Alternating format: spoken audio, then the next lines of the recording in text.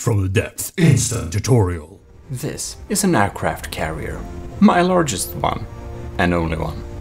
Under the runway, it has some cool things in order to make it dock and undock these beautiful storm attack swarmers whenever there is an enemy nearby. Like this. As commissioned officer, Admiral Scoobrox did point out to me I still haven't made my carrier tutorial, which I promised to do. Basically how to make an aircraft carrier vehicle. We're gonna make a miniature model of it on the old Filke. So, um, you have been asking for it since I made the Eugen Super Battle Carrier. So, uh, here it is. Now I'm gonna show you how to make a carrier in From the Depth. This is neither an airplane tutorial and it's not a boat tutorial. This is a normal boat and the only thing that is making it an aircraft carrier is that it's having an aircraft that it can drop off whenever there is an enemy. The vehicle you're building on should be a normal boat that has some type of engine and some type of AI. You know, it can move about and it has an AI to detect enemies and also detection in order to detect enemies. So there we are. We have a boat. Beautiful. How to make an aircraft carrier? Well, first you need somewhere to put your aircraft. The most popular choice for making a little platform to have aircrafts on is to have it of um, a rubber material like this. Rubber cancels the damage that block against block collisions between vehicles would have otherwise have made. However, if you set it up correctly, you would most likely not need uh, rubber. Basically, if anything doesn't go as planned or if uh, your aircraft accidentally crashes into the plate it's supposed to be on because it gets damaged, for example, when it's trying to lift off, the collision between the aircraft and the carrier will be cancelled. That's why we can have a rubber plate. If you want to save materials, you can even make a rubber plate out of square corners like this if you want to save costs. Since our controlling equipment will be EMP susceptible, we will spawn them on a little rubber platform under the platform we're going to use for the dock. The reason why we want to EMP insulate these components is that if your mothership gets damaged, EMP might take out the ability for it to recall the drones, which would be pretty not handy. The components you need are under MISC, so go down to miscellaneous, and here we got some different things we need. One thing we need is a docking station. We're gonna choose the 1 meter variant because it's a little bit smaller. Now we're going to take this docking station and we're going to rotate it so it points upwards. The smaller version just takes less space. That's all it does. Now you can of course spawn your vehicle not above a platform but on the side of, a, of your vehicle, which you can do too. It's up to you. But here I just show the normal est way, as I imagine it. Then for later use you also need a sub-vehicle spawner. So we're gonna spawn a sub-vehicle here, which also will be facing upwards. Now we just need something to control it. We're gonna go to control and we're gonna select some ACBs to color them brightly for uh, making it a little bit easier to understand there. To decrease the chances uh, or risk of it of having collision with your vehicle, we're also gonna spawn two extra blocks, which we are going to check out a little bit later. Anyways, so how do we set this up? Well, we need to do like this. We need to go into this one, and we should check here in the settings for a trigger. So what is the trigger? Well, the most obvious trigger is range. So if there is an enemy between 0 and 5000 meters, basically, if your vehicle detects an enemy at all, it will spawn a vehicle. If your vehicle, for example, the aircraft you are spawning, is unable to fight anything underwater, you can instead say altitude. You can say if there spawns an enemy between, say, 0 and I don't know how high your airplane goes. Let's say your airplane can shoot maximum up to this level, it can't fight anything above this. Well, then we can set it to this. So it kind of spawns if there is an altitude there. However, we're gonna make it general purpose, so in my case, there will be 0 to infinity. If we have an enemy detected at all, we're going to launch our aircraft. Then you need to go over to target. At target, you can see all these different things that you can get confused about, but the only thing you're looking for is actually docking stations. And just scroll down here, and we're gonna set it to release all assigned vehicles.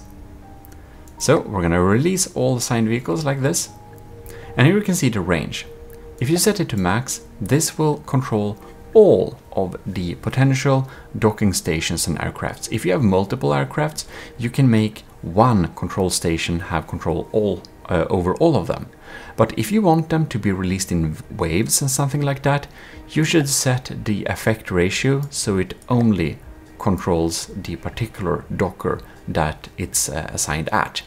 I like to assign them by uh, waves and not have a central command, but have uh, local commands that control each uh, kind of docking plate. So I set the range to something like that. Then we can copy this setting by Ctrl C, go over to this and press Ctrl V to paste it. Now we go into it and set the condition and we're just going to check this box inverted. Under target and action, we're going to go down here and we're going to recall all vehicles. Basically, if there is no enemy, we recall the vehicles. And if you chose altitude or some other trigger, like bearing or whatever you want, um, you of course do the same, but reverse here. Very simple. We're gonna go through the green blocks a little bit later, but before that we need to spawn an aircraft. Since we're having a pretty small destroyer to launch it from, I'm gonna choose one of my smaller jet fighters. There we go. We have spawned the Aerobics jet fighter. Beautiful. So now we can go in here and go to the docking station, the tractor beam. The tractor beam, the block is called the tractor beam, the block here is called the docking station. That's thus the confusion. Click Q, click selection, click the thing you want to select, apply selection, and you can see here now that the tractor beam is activated. And that is automatically activated because of course um, we already set up the commands. Now we should be adjusting hold distance and also elevation and azimuth so we can kind of reach a level which we think is nice for the hold values. The safe approach values here and the safe distance and stuff like that only really matters if you're trying to cram it in and out of a really tight space. Um, that's a little bit custom setup for every situation and this is an open platform so we can kind of ignore these safe approach settings. We're gonna get into some stuff like that later. Now usually I like to have my aircrafts at a little angle like this to make them easy launch. However, to make it look a little bit nice, we're going to just set it just like this.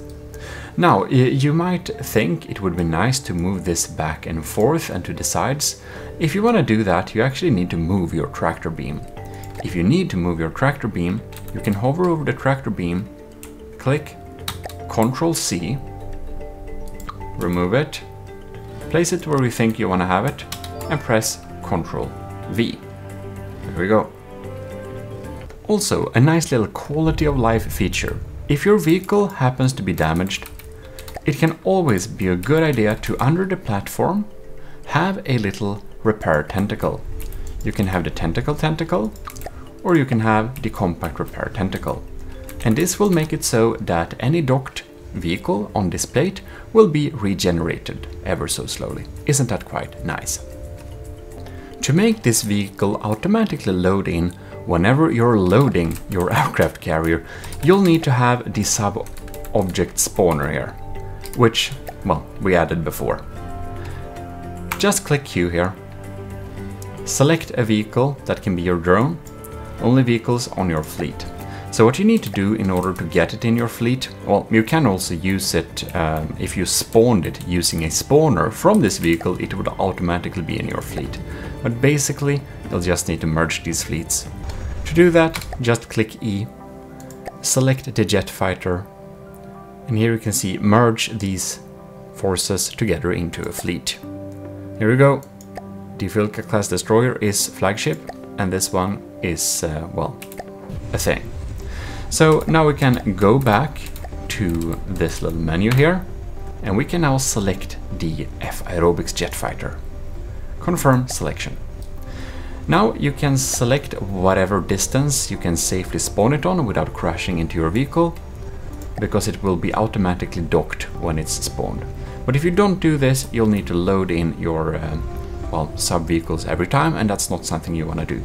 After all, an aircraft carrier is a carrier that comes with some aircrafts pre-attached, at least in my brain. This is not a drone spawner, it is an aircraft carrier. The, the aircrafts already exists, and the purpose of this thing is to carry them.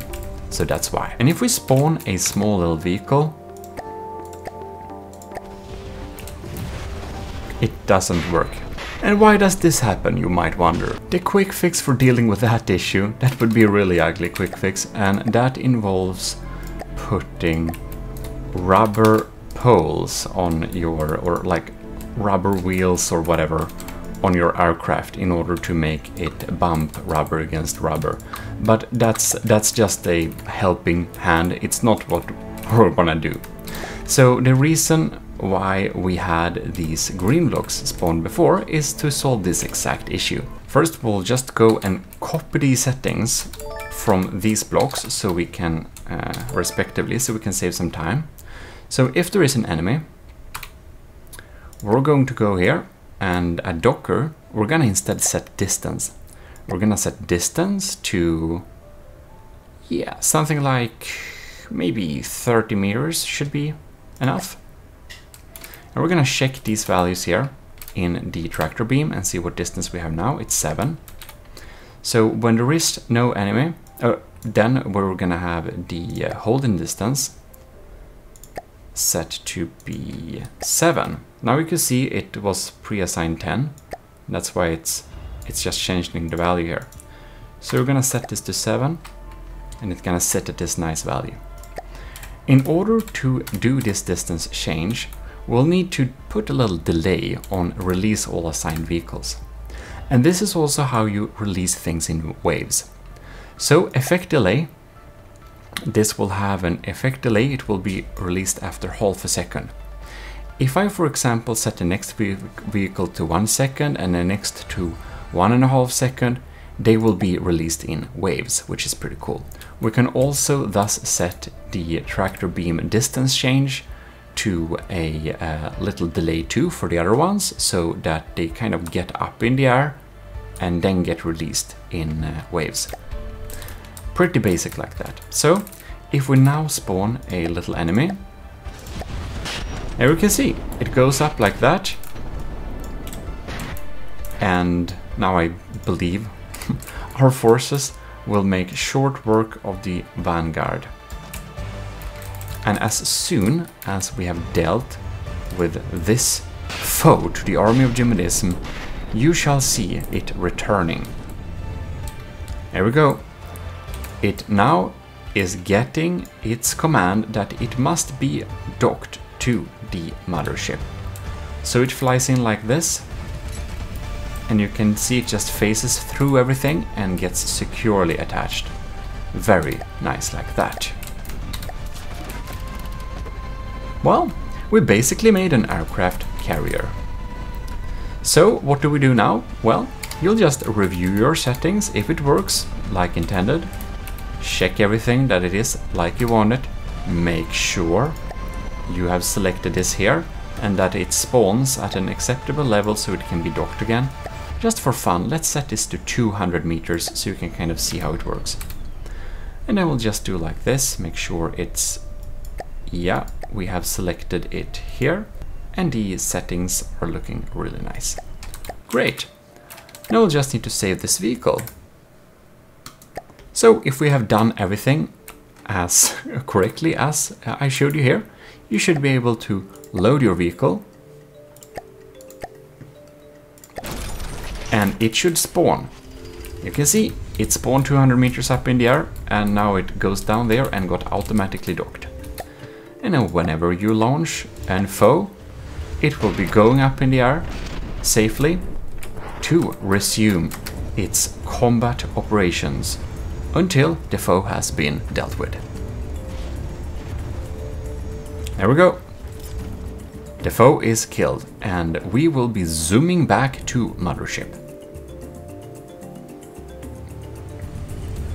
And dock.